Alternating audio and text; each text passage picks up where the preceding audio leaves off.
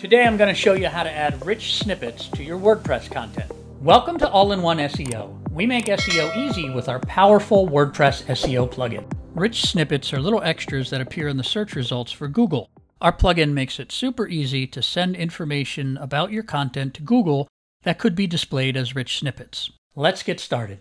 From the WordPress dashboard, head on over to the search appearance link underneath the All-in-One SEO menu.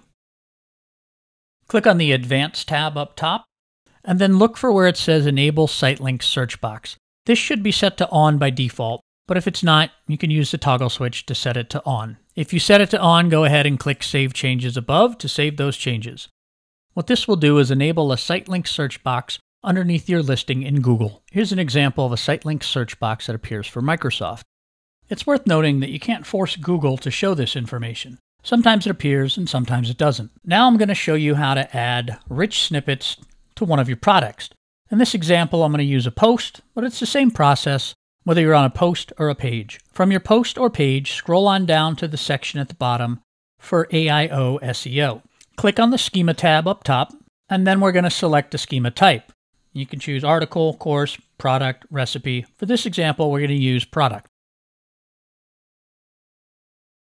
You can add a description of your product, a price for your product, the currency of your price. If you're having a sale, you can add how long you want the price to be valid to.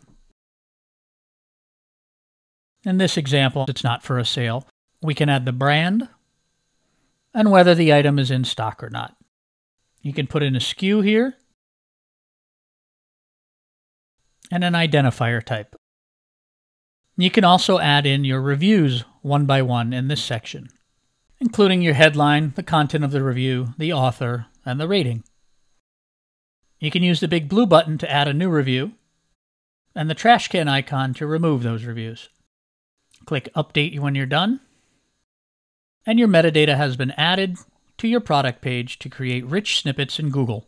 And product pages can be for physical products or also digital products. Here's an example of some rich snippets for our product for the all in one SEO you can see the star ratings and the average rating appears here right in the Google search results. So it really makes your results pop and stand out from the other results. In this next example, we're going to head on over to the Pages section, and I'm going to pull up a sample FAQ page. I'm going to show you how to add schema to this FAQ page. So just like before, we're going to pull up the page and then scroll on down to the AIO SEO settings below. We're going to click on the Schema tab.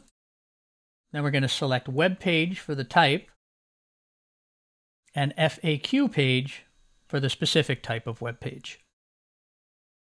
Down here you can see where we enter the questions and answers from our FAQ page. To add more than one question, click the blue Add New button. The easiest way to do this is to just copy and paste your questions and answers from the actual content of your page above, like I'm doing now.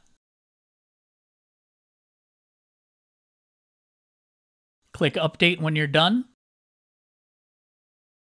And that's it.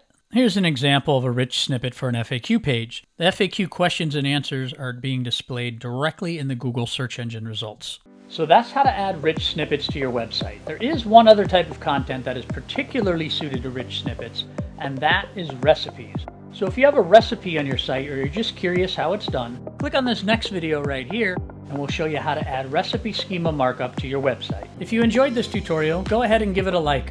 And don't forget to subscribe to our channel for more tips and tricks on how to use our easy and powerful SEO WordPress plugin, All-in-One SEO.